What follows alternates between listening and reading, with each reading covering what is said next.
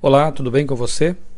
No capítulo 10 da segunda carta de Paulo aos Coríntios, aprendemos que muitas vezes o líder precisa agir com firmeza a fim de conter males maiores.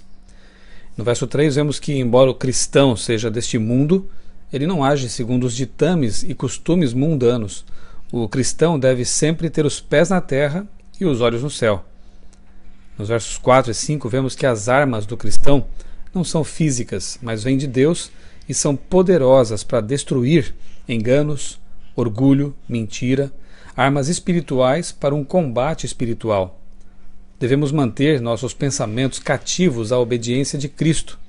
Isso permitirá que tenhamos pensamentos puros e subjuguemos o pecado em sua raiz, a mente.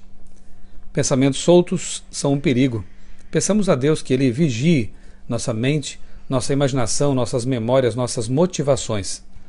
Verso 8: Deus concede autoridade a alguns para que possam edificar e fazer bem a seus liderados, não para oprimi-los e destruí-los.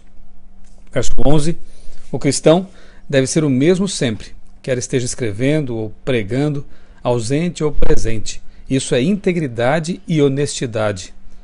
Verso 12: A vanglória, a autoexaltação e a altivez são pura insensatez e convidam à ruína.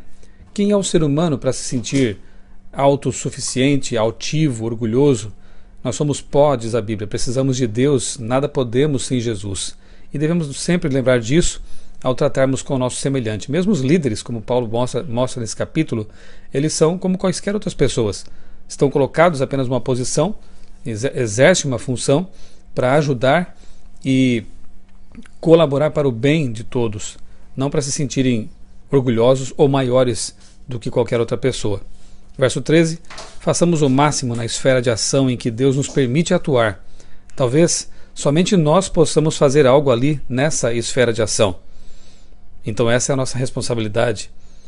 E finalmente, nos versos 17 e 18, deixe que Deus louve seus feitos, assim como você. Assim você será honrado.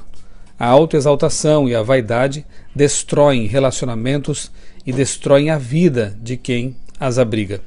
Mais um capítulo pequeno aqui, escrito por Paulo, mas que traz lições importantes para serem aplicadas com a ajuda de Deus em nossa vida diária. Que Deus o ajude a ser humilde, a ser um bom líder em casa, no trabalho, na escola, onde quer que seja, e que Ele lhe dê capacidade para, ainda que tenha uma função importante como a de, uma, de liderança, ser humilde e ser servidor.